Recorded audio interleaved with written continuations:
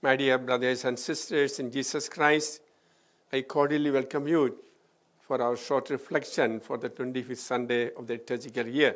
The Word of God in today's liturgy teaches in what does the true greatness consist.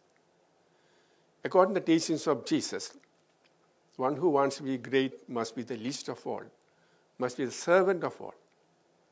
And this concept goes contrary to the understanding of the world. For the world, to be great means to have power, to have authority, to have wealth, to be able to influence others, all this. And the worldly concept, we make compromise very often, though we know the teachings of Jesus. However, when we come to practical life, reality, we either ignore or try to make a comprom- compromise the worldly concept. Now, you know the common phenomenon we notice in the world today competition or competitive. The philosophy behind it is that if you want to be successful, if you want to be successful in life, you must be competitive. And in every field we find. And there are two types of competitiveness or competition. One is healthy competition. Healthy competition is altruistic. It aims at the well being of others, for the good of others. Whereas the unhealthy competition is arising from jealousy, envy, pride, selfishness.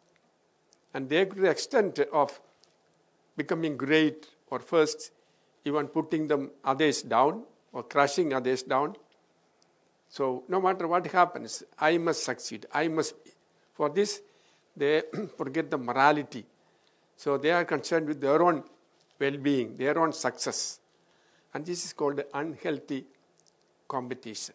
Now we see in the gospel, Jesus was trying to tell how he is going to be rejected by the elders, he will be humiliated, the sufferings he had to undergo, the passion, the death, and the resurrection.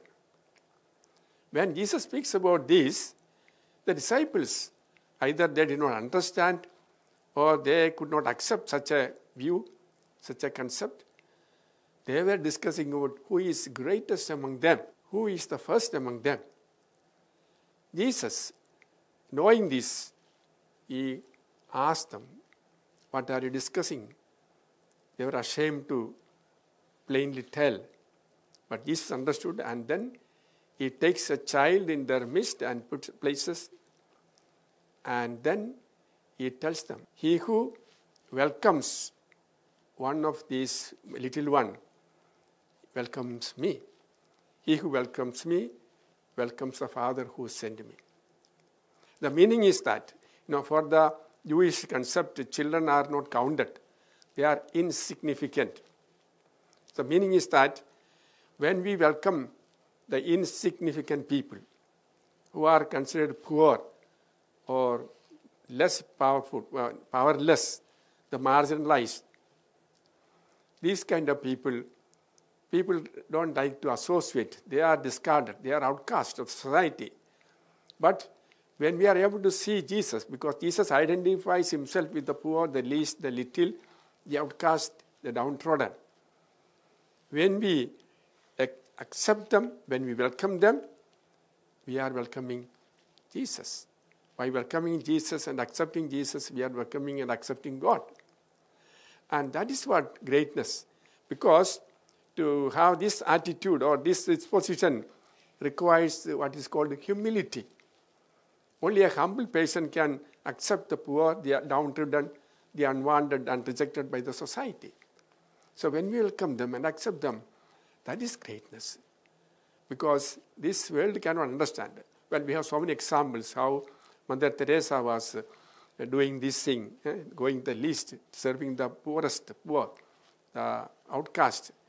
And that is why we can see in the world also a ray of this kind of attitude, positive, but generally speaking, this is not the way of the world. So, the way of the world is that to get power, to get position, to be influential, and this we can find in every sphere of life in politics, in business, in society, different areas, including, unfortunately, even the church we find this worldly concept of greatness has crept in even among religious, seeking power, seeking position. They want to be great. That is a contradiction to the Christian way of life. That is contradiction to the teachings of Jesus. Reading, we have the second reading. Uh, St. James also speaks of the same thing in a different way. He says, in the community where there is disintegration, disunity, disharmony, it is because people are prejudiced or they are selfish. They have their own ambition, selfish ambitions, selfish motivations. And this is the result of pride and arrogance. And that destroys unity and harmony and peace in the community, in the society. So we need to have the wisdom from above.